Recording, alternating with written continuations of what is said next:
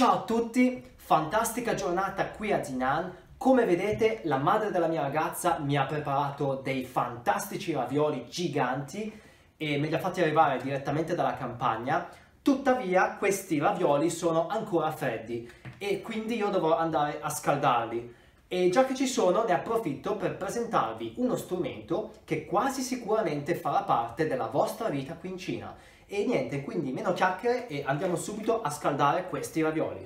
Ecco, allora in pratica lo strumento che volevo presentarvi oggi è questo, che è una sorta di pentola elettrica. Come vedete qua si apre e uh, dentro c'è tipo una sorta di contenitore con dell'acqua che ho versato prima. Allora, diciamo che questo qua si usa principalmente per fare il riso bianco, però se si aggiunge questo oggetto qua possiamo metterci sopra appunto i miei ravioli e i ravioli verranno cotti al vapore. Quindi adesso ci versiamo dentro i ravioli. Ok. Poi dopo chiudiamo, attacchiamo la spina. Ok. Ok, bene. Ecco, poi come si usa? Allora, questo è, questo è un modello piuttosto semplice, uh, perché come vedete qui c'è conservare il calore, se invece faccio così, scalda o appunto bolli. E in pratica basta aspettare tipo una decina di minuti e i miei ravioli saranno pronti. Quindi vabbè, tagliamo il video. E niente, a giudicare dal profumino che emana, sembra tanto che questi ravioli siano pronti. Vediamo un attimo. Mmm, sì sì, mi sembrano pronti. E va bene, allora dunque senza scottarci dobbiamo prendere questo coso di plastica. Se ce la facciamo se ce la facciamo. Ok così. Ah, uh, uh, uh, veloce veloce. Ah, ok. Questo lo rimettiamo qua sopra. Spegniamo sta roba. Anzi stacchiamo la spina direttamente. Bacchette. Ok e andiamo a mangiarci i nostri bei ravioli. Ci vediamo tra poco ed eccoci finalmente ai nostri ravioli. Allora, io come al solito consiglio di accompagnarli uh, con il Mitsu, che in pratica è aceto di riso. Ne ho già parlato anche in altri video dove mangio ravioli. Se ne versa un pochettino in una scodella a parte, così, non so se lo vedete. Ok. E niente, possiamo cominciare a mangiare questi ravioli. Oh, finalmente. Guardate che roba. Cioè, io ho detto che sono giganti, ma guardate la mia mano. Cioè, io di solito quando vado fuori a mangiare non sono così grandi. E vabbè, niente, in pratica si puccia e se ne mangia una parte. Mm. E questo è ripieno. Ecco, vabbè, si sta un po' spaccando anche. Mm. Buono. Mm.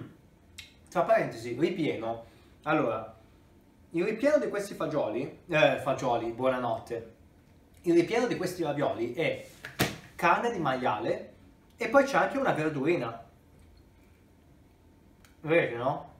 Aspettate che vengo lì quasi quasi. Vedete? C'è la carne di maiale e poi c'è tipo una specie di verdurina. Sta inquadrando? Sì? No? Chi lo sa? Vabbè, c'è una verdurina. In pratica questa verdura si chiama jiucai e in pratica è una... Mm. Mm, scusate, stavo dicendo, in pratica questo jiucai sarebbe un, una sorta di aglio cinese, anzi forse è meglio dire erba cipollina cinese cinese è proprio, non è come l'erba cipollina italiana, è un po' diversa. Il suo nome, il suo nome scientifico, quindi il nome latino, uh, dovrebbe essere Allium tube, tuberorum, tuberum, non, non, lo so, Allium tuberum forse, non sono sicuro, al massimo vi metterò il nome là sotto. Mm. Mamma mia che buoni!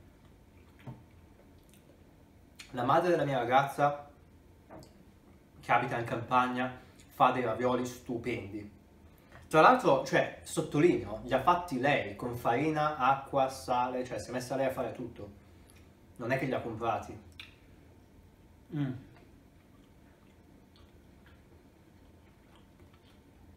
Tra parentesi, um, perché io li ho scaldati col vapore e non con l'acqua bollente? Ecco, questa può essere una domanda interessante. Mm.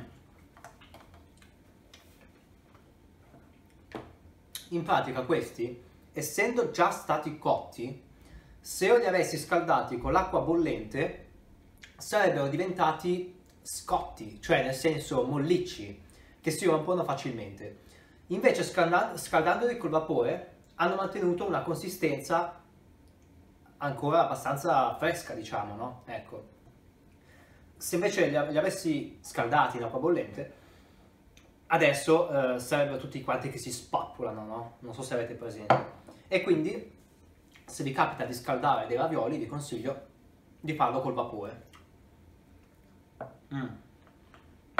Adesso, io l'ho fatto con questa pentola, poi però comunque voi potete farlo in diversi modi. Non mi avete detto che mi era finito un pezzo di erba cipollina cinese tra i denti, che mi faceva quasi sembrare sdentato, e invece ah, i denti ce li ho ancora tutti, pensavate male. E vabbè, niente, uh, stavo dicendo, allora, uh, questo non è stato un video tutorial su come fare i ravioli cinesi fatti in casa. Quello arriverà, ve lo prometto. Mm. Perché comunque ci sono stati molti messaggi e commenti da parte di persone che mi chiedevano Eh, ma perché non fai un video tutorial sui ravioli cinesi fatti in casa? Lo farò, ve lo prometto però al momento non sono nella condizione di poterlo fare, cioè nel senso qui in collegio non è che posso mettermi a fare i ravioli fatti in casa con la farina, l'acqua, il sale, cioè non posso. Però quando avrò una casa mia, ve lo prometto, farò un video tutorial su come fare questi ravioli cinesi. Mm. Per ora accontentatevi di questo video tutorial su come scaldare i ravioli cinesi fatti da vostra suocera e mangiarseli. Mm. Davvero buoni. Mm. E vabbè, niente, dai. Ormai il video lo sto già tirando per le lunghe, quindi la chiudo qua. Fantastica giornata qui a Jinan. Ravioli cinesi giganti, fatti in casa dalla madre della mia ragazza, cinese anche lei, che vive in campagna e niente, se questo video vi è piaciuto mi raccomando lasciate un bel mi piace, se vi interessa continuare a seguire la mia vita in Cina mi raccomando iscrivetevi al canale e noi ci vediamo qui per un prossimo video dalla Cina. Ciao ciao!